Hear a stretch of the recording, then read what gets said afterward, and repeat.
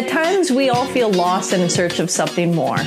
This is Cristina Dam, and this is Liberate the Podcast, a podcast designed to help inspire and guide you forward through everything spirituality, creativity, art, and just giving you a sense of empowerment so that you can be powerful, be magical, and be free.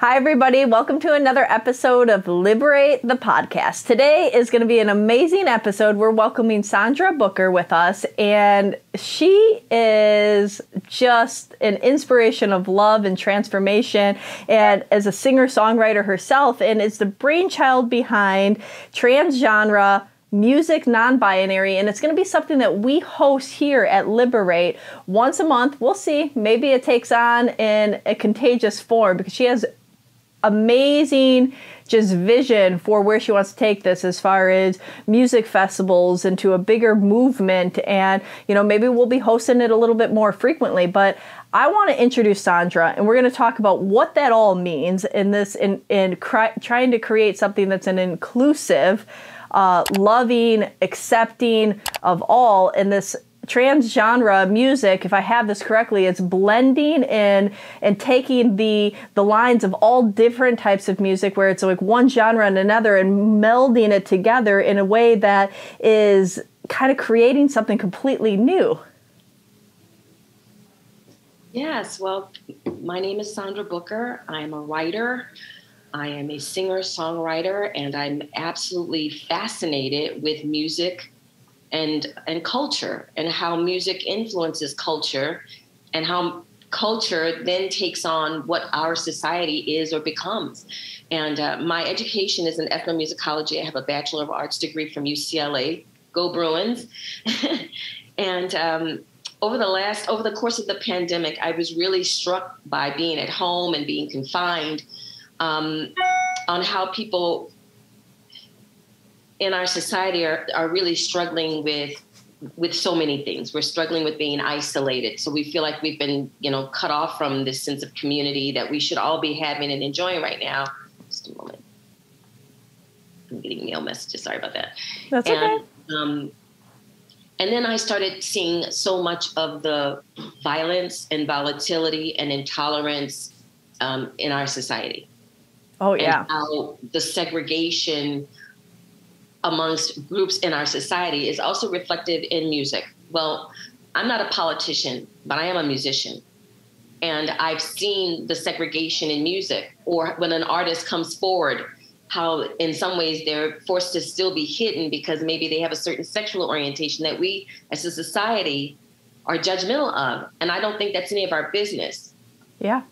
I think, you know, we need to do something and I hear people say all the time, I don't know what to do. I, I can't do anything. You know what? I can do something. And I can start by being kind and considerate and, empath- and uh, empathetic and respectful and moral and ethical. I can do all of those things and I don't need permission from anybody else to do them. It's like fasting. I don't need I don't have to pay to fast. I just need to not eat food. Yeah. We can do something. And, and which I, is really important that you, you, say that like that, that because so many people, they see the issues that society is facing or, um, and they look at the state of the world and they look at the volatility, they look at the hatred, right?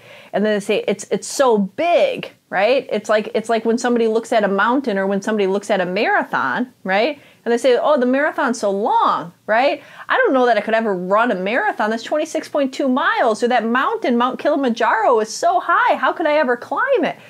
But you know how people do it is they just take one little run and then another run. Or when they're hiking, it's just one foot in front of the next. And before they know it, you know, they're able to complete that marathon. They're able to climb to the top of that mountain. But they can't do it by looking at the big chunk. They just look at what's capable today, right? What can I do today in this moment, right? You know, like if, okay, so if you haven't ever ran before, maybe you can make it a block, right? So that's okay. Maybe tomorrow it's two blocks, right? Maybe it's not until next week it's two blocks, but every day it's a little bit more and the momentum builds.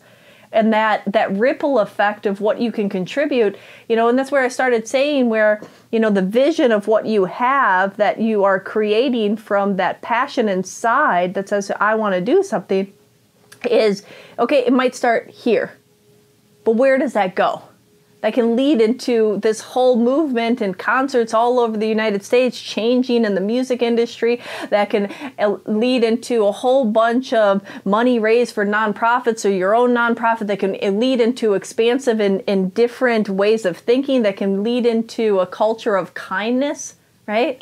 kindness. And that is what I want to facilitate. That is what I endeavor to create around me. Um, and when you've been the, when you've been the target of hostility, anger, people's envy, gossip, I know what that feels like. Yeah. And it makes you feel like a misfit, especially if you find yourself in that situation because you've had the courage to stand up and call out something that's wrong. Um, and I've done that, but that comes with a penalty, and we have to sh- we have to change in our society that the people who have the courage to stand up and speak up and speak out those people can't always then be more, you know, I don't need to be martyred. Yeah. I need to be supported when I'm trying to bring something to your attention that will keep someone else from having to recover. And we are responsible for the vibrations that we're putting out, but that's also a result of the vibrations we are allowing into us. Mm. Yeah. And so I want to be a part of changing the vibration that comes into you that makes you feel jealous, that makes you feel anger, that makes you feel rage. And for those people who are the perpetrators and and and the people who victimize people who are who are doing fine, you know, if some nobody talks about something that didn't happen to them. Yeah.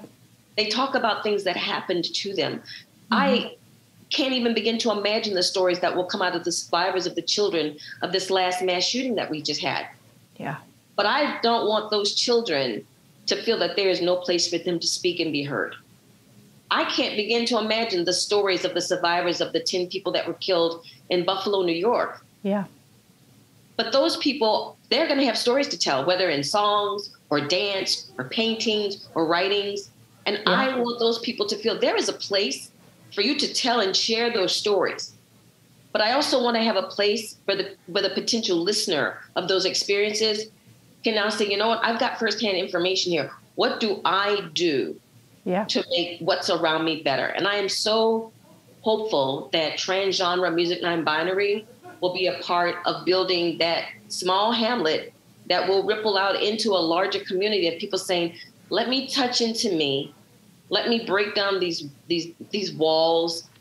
Let me not be so restricted to I've got to be this or that when I can be a myriad of things yeah. beautiful things. What makes a rainbow so magical is that it's not just black or white, it is a spectrum of color. And yeah. all of those colors matter. Yeah. So metaphorically, I have borrowed from the LGBTQ community, and I'm very proud to say I'm a tremendous advocate of the right to love without prejudice. Mm-hmm. I did a recording project in uh, 1990, no, 2000 something, 10, I think it was. Okay. It was called When Love Happens. And it was to commemorate and it was to celebrate interracial marriage that was made legal in all 50 states in 1967, the Loving versus Virginia case. Well, I mm. did a project. And what made me proud of doing that project was to get people to see, in, in terms of a story and the way that I laid it out in the recording, love is a, something to be celebrated. Yeah. Love is something, I mean, if, if you can choose between love and hate, how can there even ever be a contest? Yeah. People understood the magic and the beauty of feeling joy. I believe we would have less cancer in the world. We would have less depression in the world. We would have less PSTD in the world, PTSD in the world. We and we can do this just by starting with ourselves saying today I will commit myself to being kinder. I will commit myself to being softer. I will commit myself to being more truthful, more honest. And you know what? Take that one step. Yeah. And if you need some help, come join us every third Saturday of the month because that's what we're going to be presenting. I've put a line together of these amazing artists, the Electones, uh, this incredible um, mature artist named Tanya. She's also known as the Vibe Guru. Uh, Willow Crest, a young, uh, really dynamic uh, singing duo. I'm getting this out there because I want these these artists who are non-binary, who are, you know, incorporating funk and gospel and classical into their work to say something to to create something new. That's yeah. not being told, no, you can only be this, you can only be that. Which is so so important, you know, because one of the things you talked about disease, you talked about cancer, you talked about, you know, things that that are happening inside because of the limitations. And one of the biggest things is is this inability to fully express ourselves, right?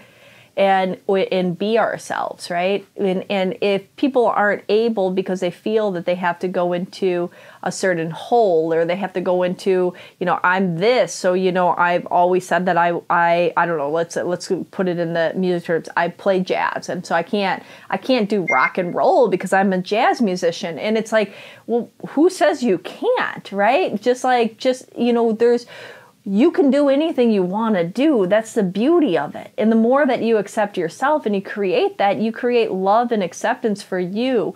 And that love and acceptance from you starts to project that love and acceptance el- elsewhere. You know, I say when there's hate and there's judgment going on, it's because you hate and judge yourself. Well, that's where projection comes from. Yeah. That's where projection comes from. And we need to change the narrative about how we identify we and and how we want to be identified.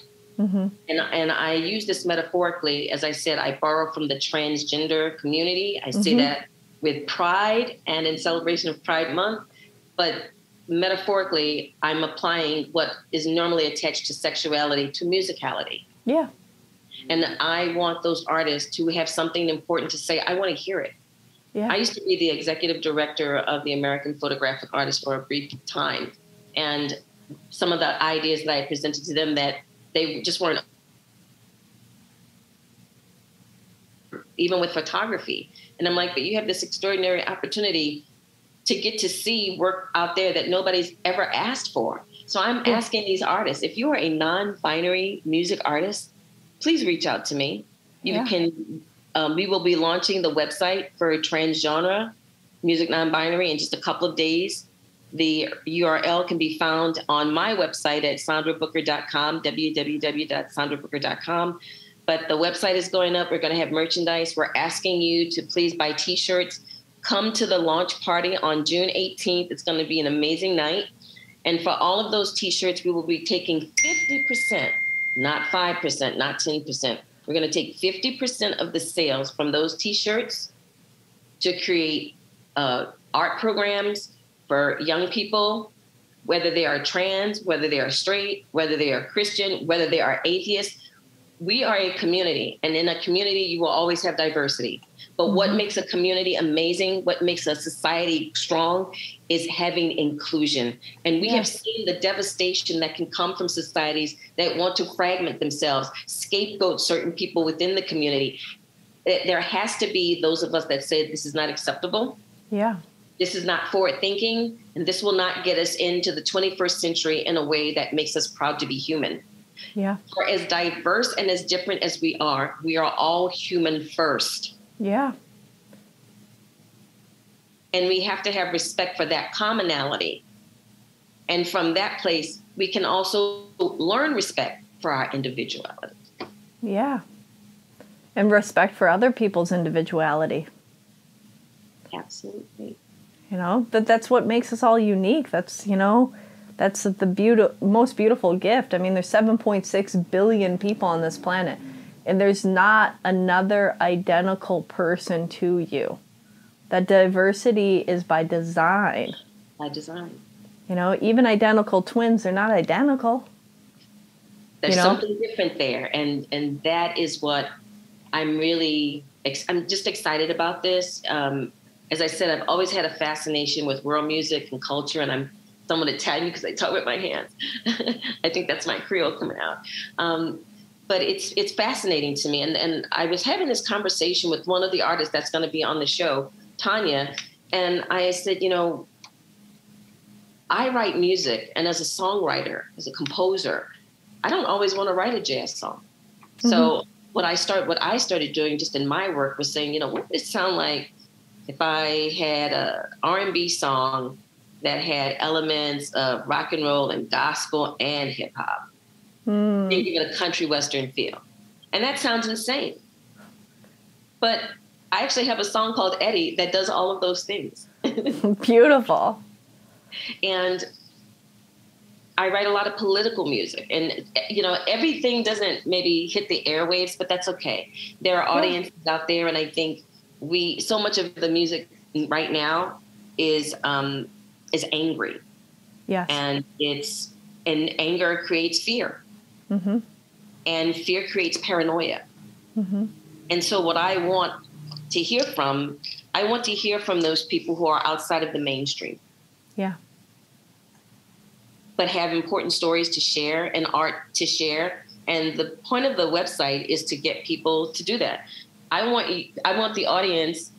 If there's an artist that you know about that's non-binary and maybe they're coming up in the ranks and they're trying to get their music out, please send that person to me. And if yeah. you are a non-binary artist, that means if you are blending styles and genres and, and, and overlapping, I want to hear from you. You enjoying this so far? Did you forget to subscribe? make sure to do so. It takes two seconds. Just press that little button, the red one. You know the one. Just press it, little like. All right, enjoy the rest of this content. I'm saying, please reach out to me. I want to hear your music. I want you to send me samples and I want you to send me a bio. Every month, we're going to do an artist spotlight. I love that. I've already listed 25 non binary artists that I think people should be checking out on the website and there's going to be links to those artists. I'm hoping that you know we can have a, a, a, collaboration here with Liberate Podcast, where maybe once a month we can have an artist come oh, on. I would love that. About yeah. their music and and what inspires them, and and and just really start to create that. I want to create a love vibe, a love vibration, and I said this years ago, and I should have trademarked the term. It is time for us to have a love evolution. I love that. It's you got to trademark that. That's so good. So good. It's time to have a evolution. It is.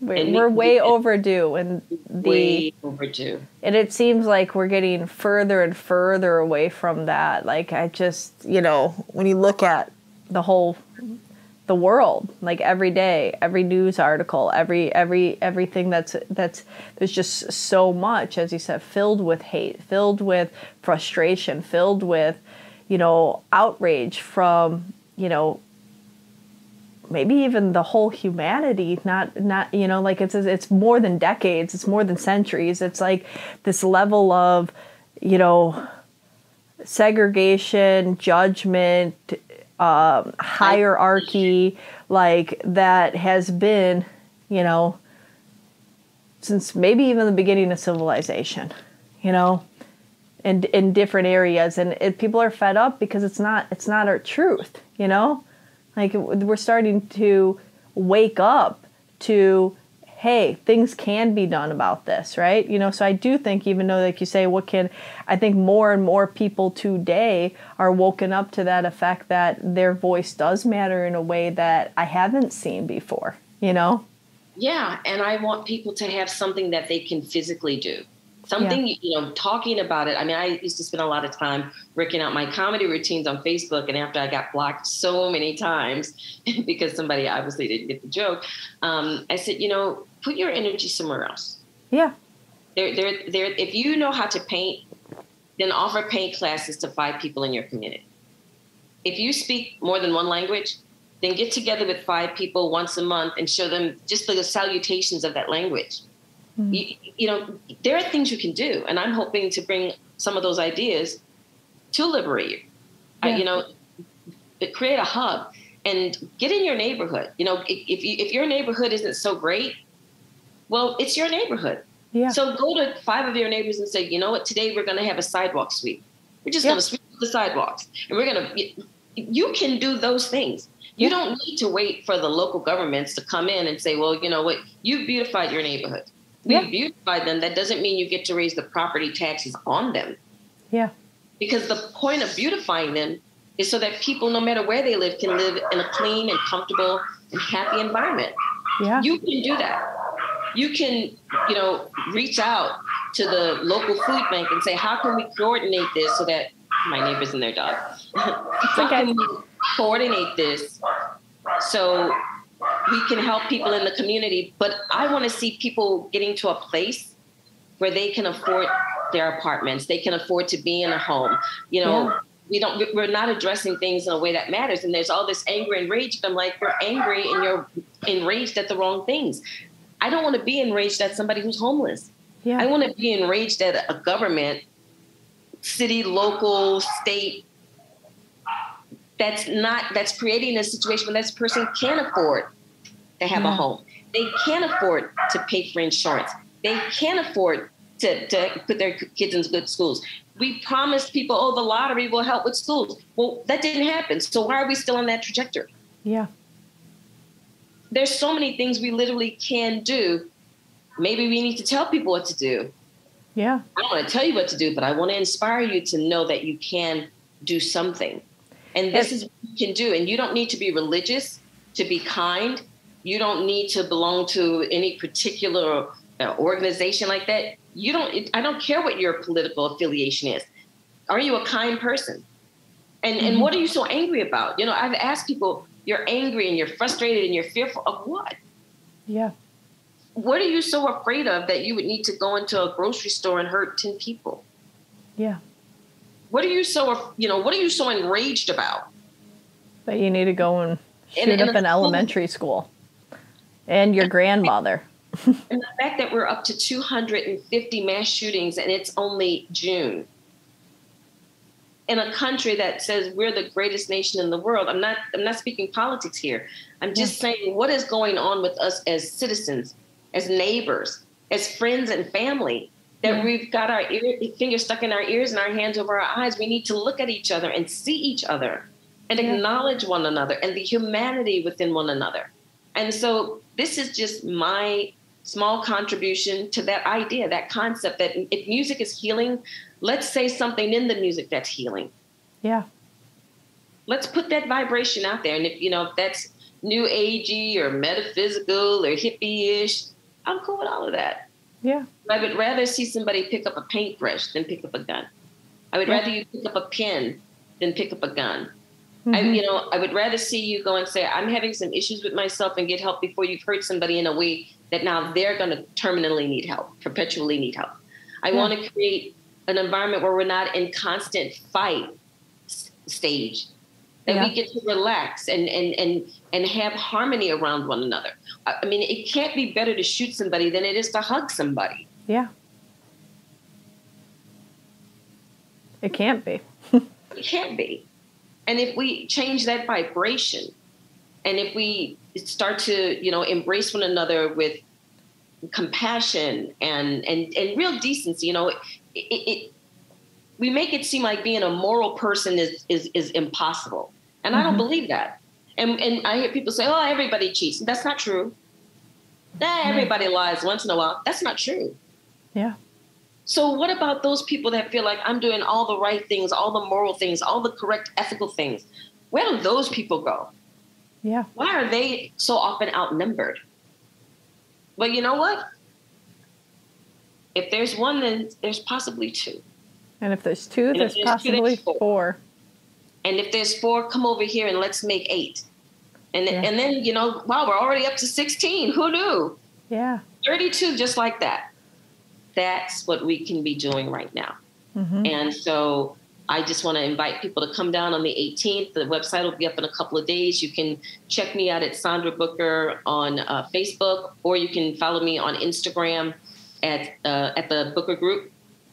Um, get him, you know, reach out. And, and, one of the cool things about um, what you're doing is also the give back. I mean, you made a you made a um, a, a, comment about how you're selling the shirts and the t-shirts and everybody should buy a t-shirt. 50% goes to to artists.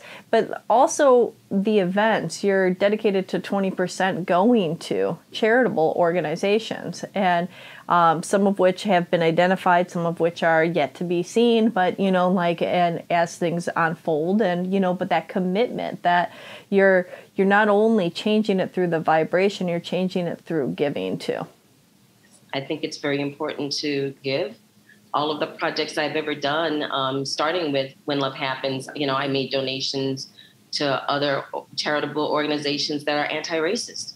Mm-hmm. I mean, these are the things I believe in. So I can talk about doing something.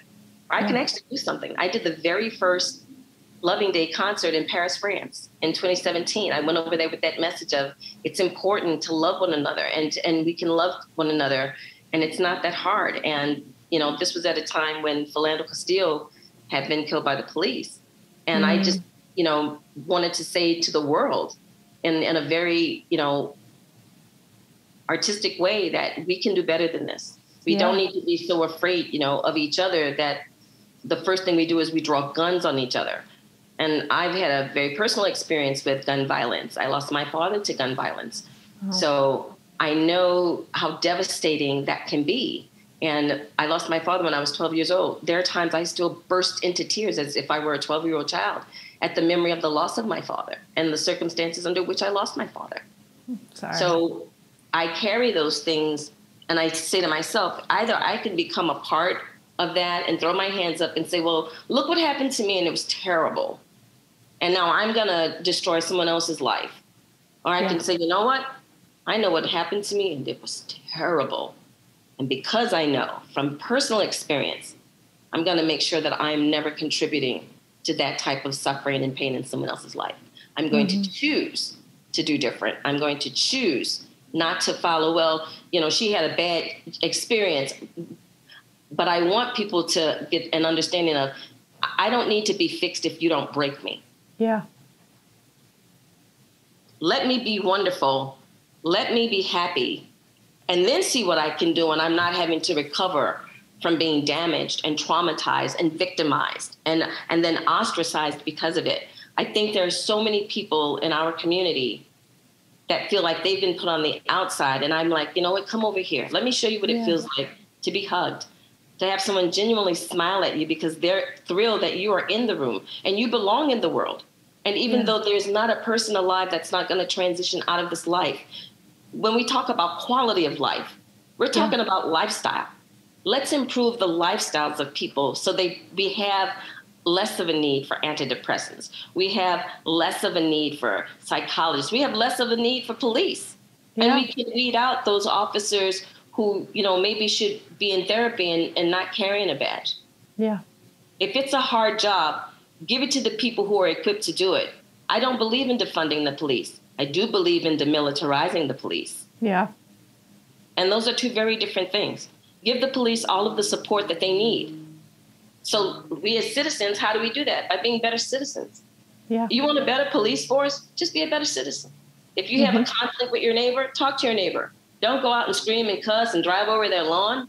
Yeah. All of those things are things you can do starting with yourself. If you have a drinking problem, drink less or stop drinking at all. Yeah. You can make that choice. You know, before you become an addict, you weren't an addict. Yeah. So make the choice to say, you know what? That looks like fun, but do but do I really want to do that to myself and to all the people around me? Do I want yeah. to do that?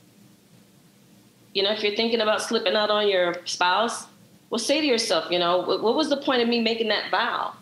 Yeah. If this is what I'm going to do to that vow, and and I only need to break it one time. That's why there are no mirror repair shops. Yeah. That's good. Ah. So come uh, join us for the That's beautiful. yes, come join. Come join us for the trans genre music non-binary artist spotlight series. Um, visit our website at transgenre.net. That will be going up within the next couple of days. We're getting the t-shirt merchandise added to the site right now. Do you have um, a, a Instagram handle at all?